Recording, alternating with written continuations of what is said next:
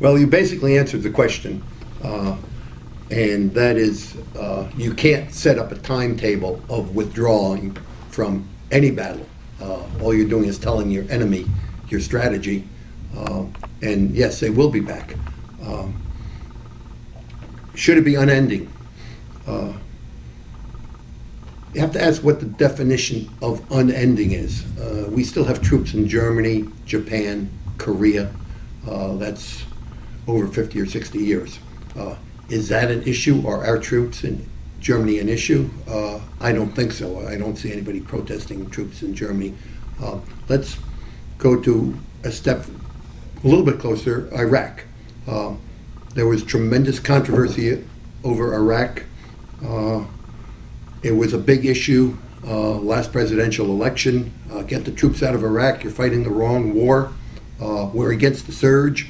Uh, Bill Pascrell, uh, my opponent, uh, voted to send the troops to Iraq. He voted against the surge, which basically, in my opinion, ended the war. We just had an announcement um, that all the combat troops are gone.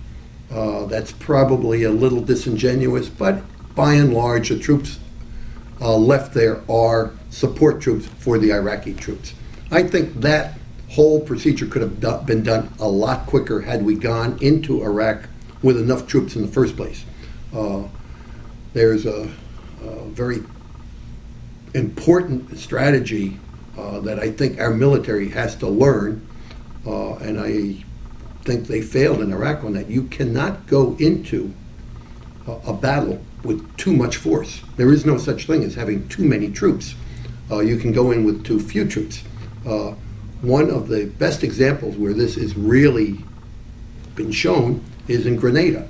Ronald Reagan went into Grenada. I think he had three aircraft carriers and six or seven thousand troops for this little island, less uh, smaller than New Jersey. Uh, but the whole thing was over in two days. Um, I went to Grenada about a year after uh, we had invaded, and took some walks up into the jungle. Had we gone in with a short, uh, with a shortage of troops, and the um, insurgents there would have gotten uh, ensconced in the jungles, we'd still be fighting Grenada right now. So you need the troops. Uh, I think, and I got my fingers crossed on that because the jury is still out. There was just something on NPR this morning. Um, you know, are we done?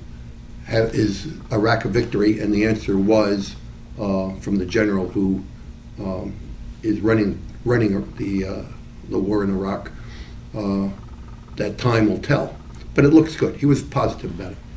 Going back more to your um, question about Afghanistan, we have to put the forces in to win that war. We have to dedicate ourselves to win that war. If we don't put the forces in to win, we are going to be in a stalemate for another eight or ten years. We did it in Vietnam, we almost did it in Iraq.